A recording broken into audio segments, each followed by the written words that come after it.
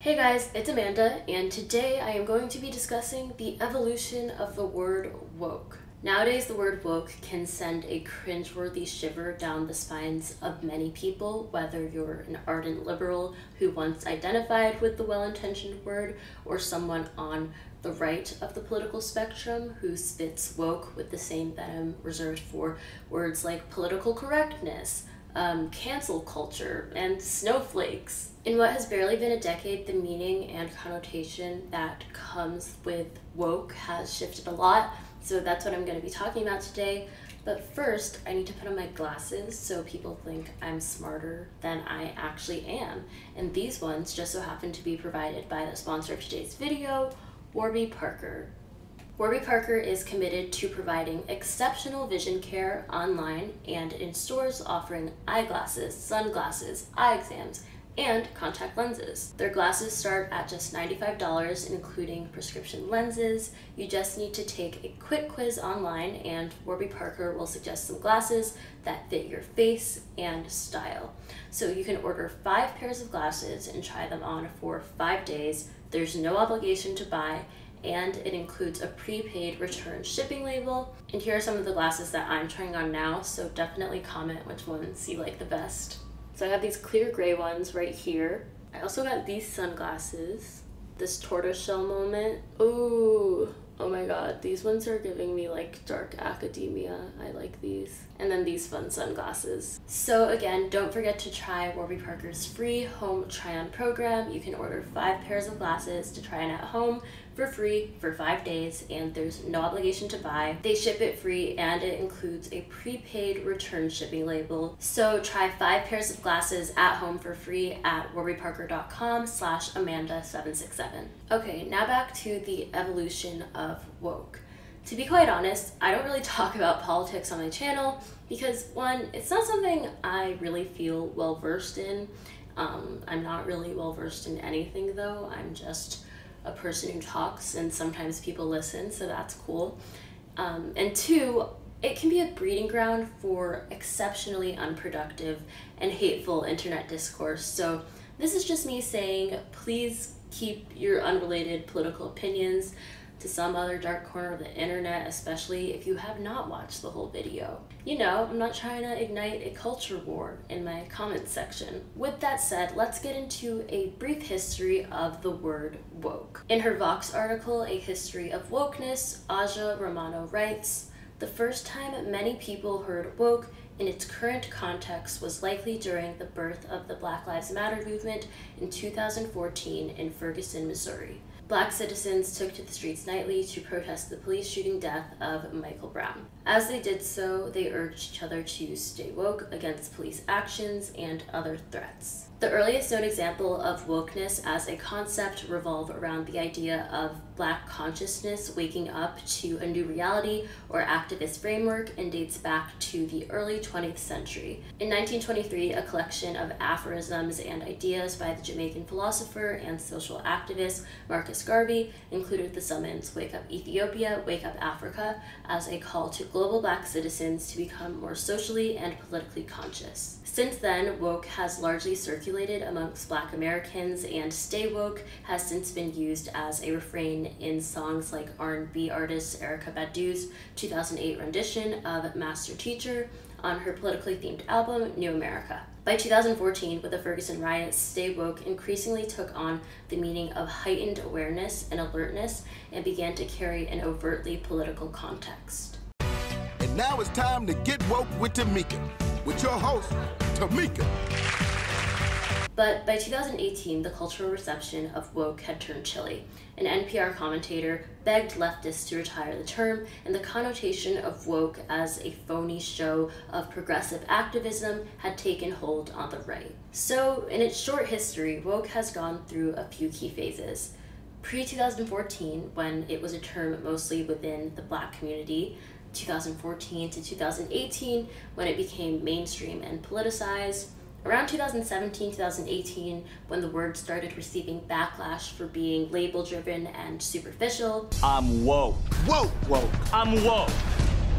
So, why aren't my jeans? Now they are. in 2018 to present day, when the word has become so appropriated and misused that the only thing left to do is satirize or completely reject it, no matter what end of the political spectrum you fall on.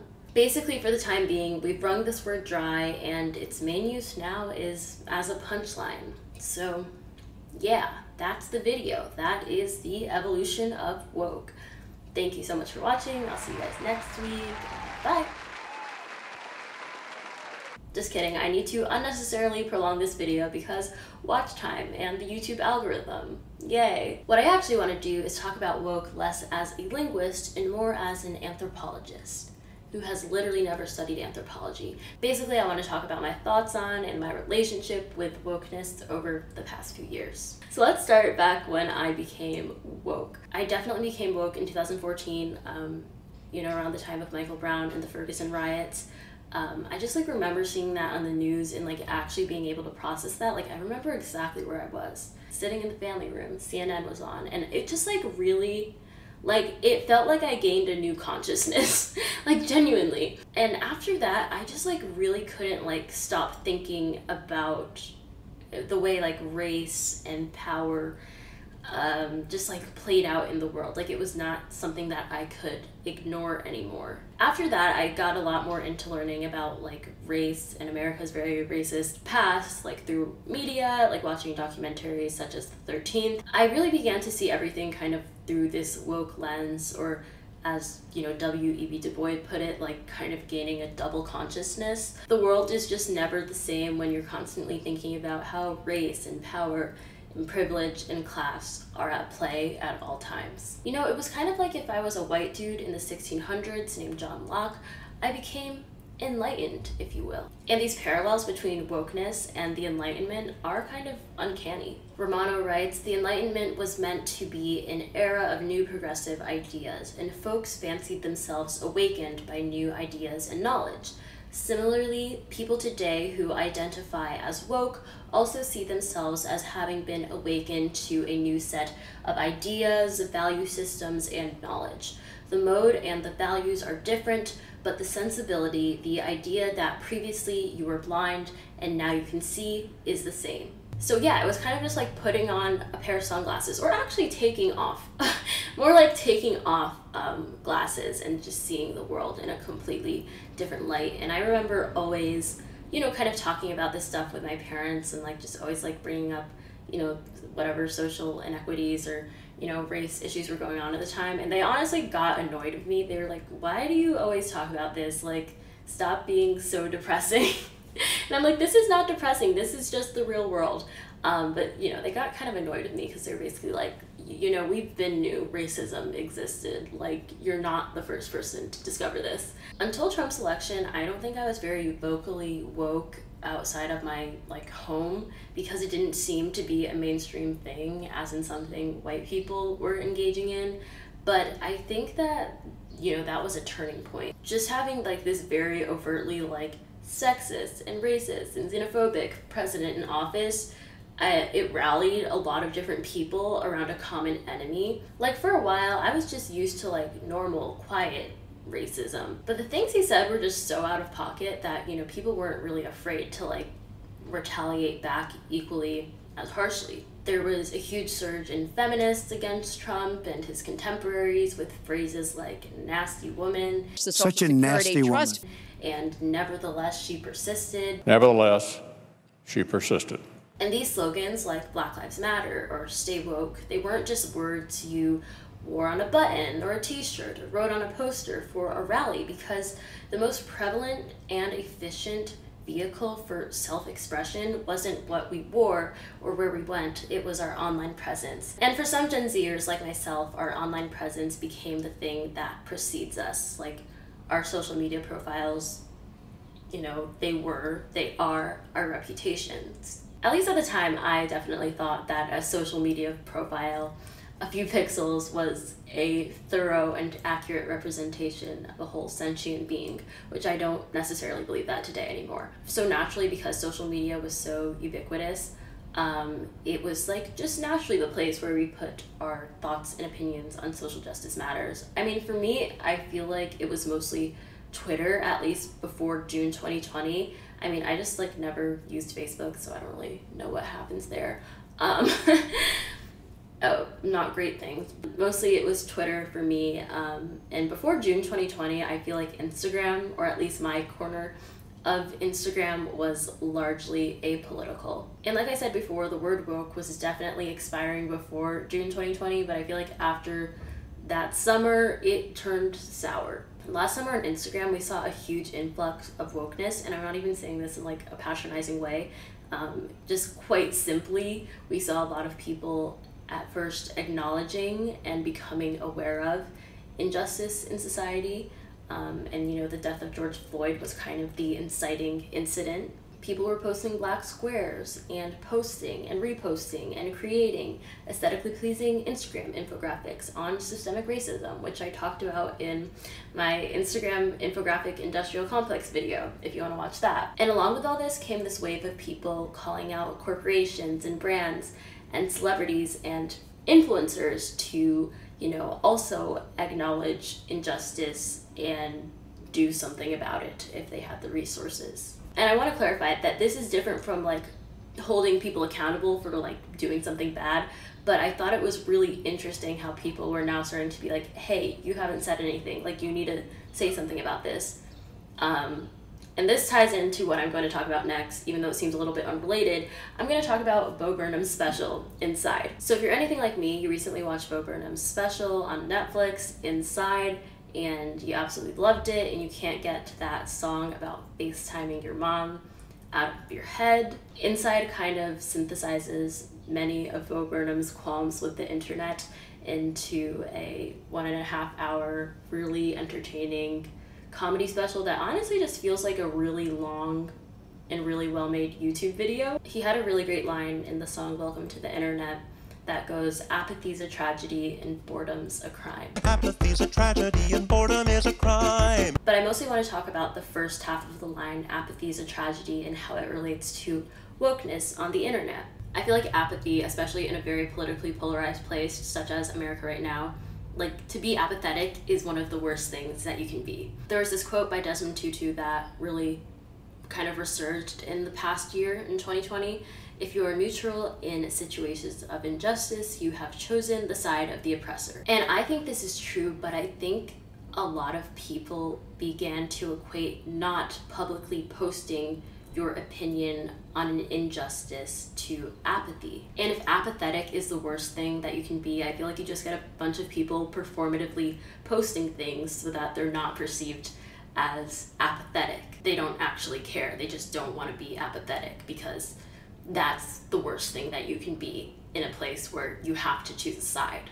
Side note on like apathy, but I have always usually thought of apathy in the context of like caring about art, if that makes sense.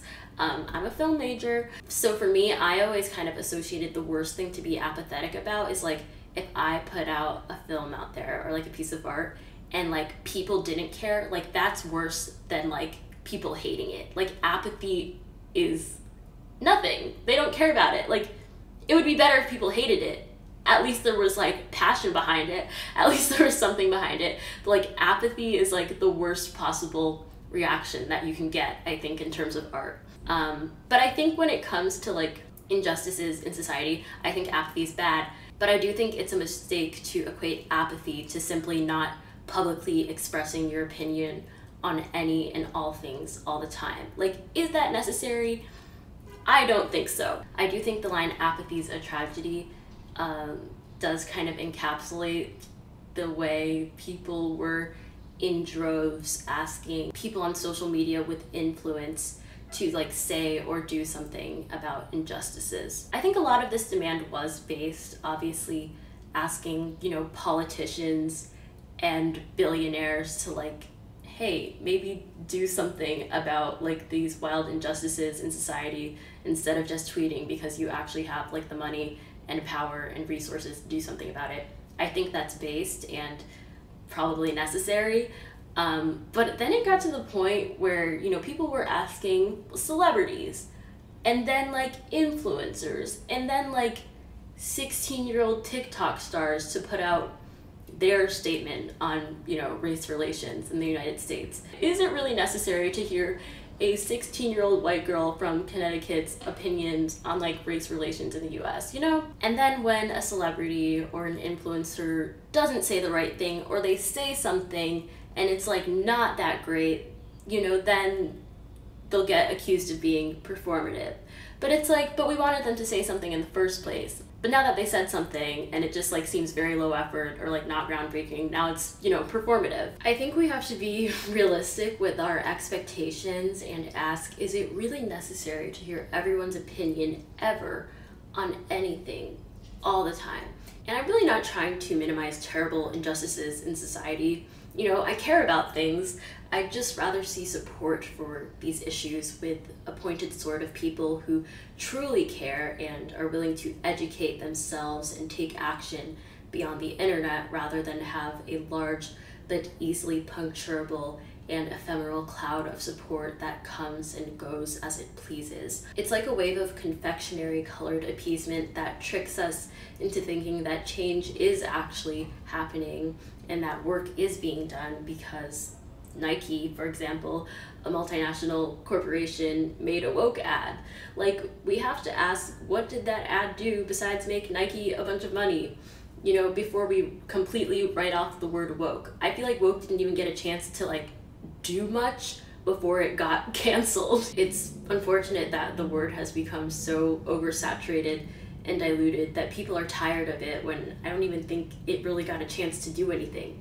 And I think that's just kind of the plight of like modern internet activism that it's set up in a web and a network and it's not really set up like a pyramid where there's one leader who can you know organize people and take action which was one of the really great strengths of the civil rights movement in the 1960s but also a weakness because they just killed the leaders so it's kind of a catch 22. Those are like my anthropological thoughts on wokeness. Is that even a word? I don't know. But I quickly want to shift and talk about wokeness from a psychological perspective and the psychological burden of being woke. I do think that constantly thinking about injustice and oppression can kind of be like having a dark cloud hanging over your head at all times. And I don't think it's ever really been an option to even be aware of so many plights in the world until the internet where you could just like know everything happening at all times and also like in this era of like a lot of honestly performative activism where people expect some people expect everyone to be aware of and to be caring about every single thing wrong in the world at all times. And i think just like mentally that is not a um, viable sustainable thing to do at all times. I don't think we're supposed to know what all people are feeling and thinking and doing all the time like in just a normal social media context let alone of knowing like every injustice in the world and being expected to like be fully empathetic to every single thing going wrong at all times even if it has nothing to do with you i think obviously empathy is important but i think there is a point where it's like it's just not realistic to be constantly on like that. And I thought this concept of like the psychological burden of wokeness was interesting because I saw this video on YouTube of this girl. Um, she posted, This is how I escaped the cult of wokeness. And I watched it and I feel like it was an interesting video. I still feel like it's important, even though woke has kind of lost its edge, that like the rejection of wokeness isn't an excuse to like be an asshole and to like be racist and to like you know, not use people's proper pronouns and stuff. I think the opposite of wokeness because of how hollow wokeness has become, because how much it's really lost its true meaning, is just actually caring and like being a decent person. It's not like being terrible and that's the solution to like not being woke. It's just it's not an excuse to be insensitive. The last point I'll make though is I think the issue of wokeness as a psychological burden, I feel like there's kind of two different perspectives to have I think some people would view it as an oppression, and those are kind of the people who have really um, poisoned the term woke. But I think there are people who have like learned a lot from this movement and learned a lot from like seeing injustice in society. And from that perspective, it's an enlightenment. And I think there's like a fine line between being aware of these things, but also just not making it your whole life. Like, even if it is your life's work to be like working in DEI or something, um, I think there's a fine line between being aware, but not necessarily letting that awareness like suffocate you. Anyway, I have to go to a meeting. This video is to end here. Um, I hope that you guys enjoyed it, even though I'm kind of struggling to remember what the point of it was. It's just my thoughts on wokeness, and I'll see you guys in my next video. Bye!